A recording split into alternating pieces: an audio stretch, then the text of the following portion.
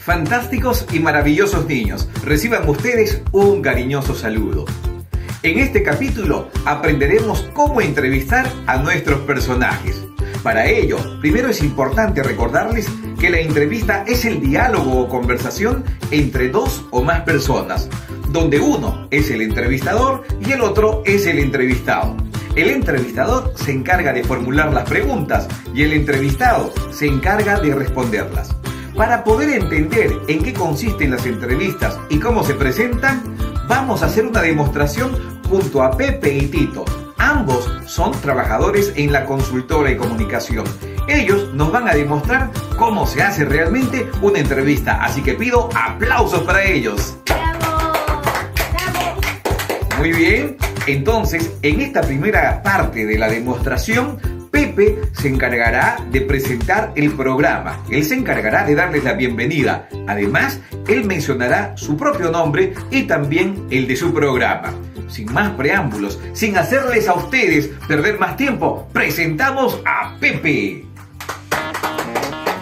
Hola, hola, hola, queridos niños. Un saludo muy especial para todos ustedes. Soy Pepe presentándoles mi programa Mundo Animal. Hoy, por supuesto, tengo la alegría de llegar junto a ustedes para poder presentarles a un invitado especial a quien estaré entrevistando. Él se dedica a la camarografía, es camarógrafo, se encarga de editar videos y mucho más.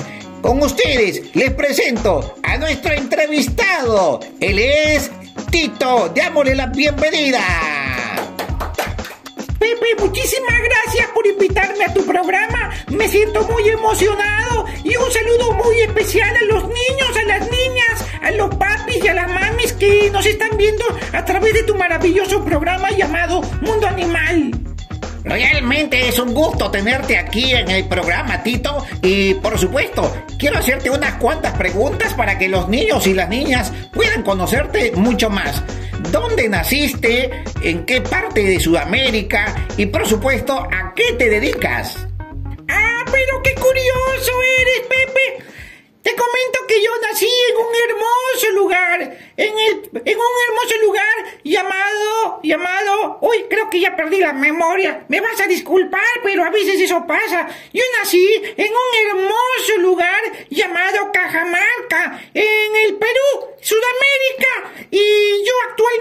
me dedico a trabajar en la consultora en comunicación. Soy camarógrafo, yo estudié para camarógrafo, por eso me dedico a la camarografía. También soy editor. Me encargo de hacer propagandas, publicidades, edito los spots y también hago videoclips.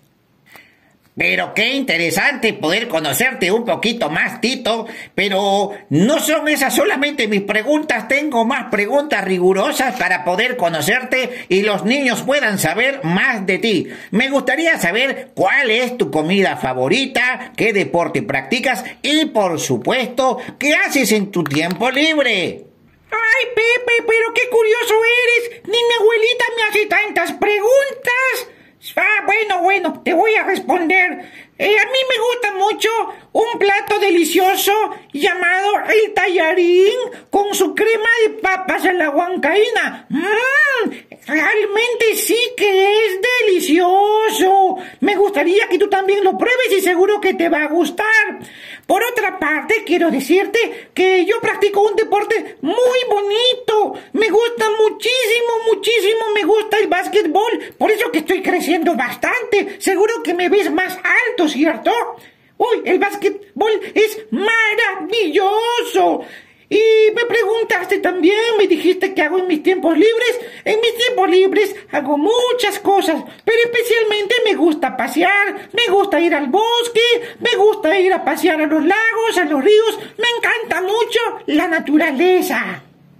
Bueno, pero qué interesante, qué bonita tu vida y qué buen pasatiempo tienes, ¿eh? Imagino que cuando te vas por el bosque, de vez en cuando debes haber visto a mi abuela, a mi tío, a mi sobrino y a mis hijitos que paran por el lago.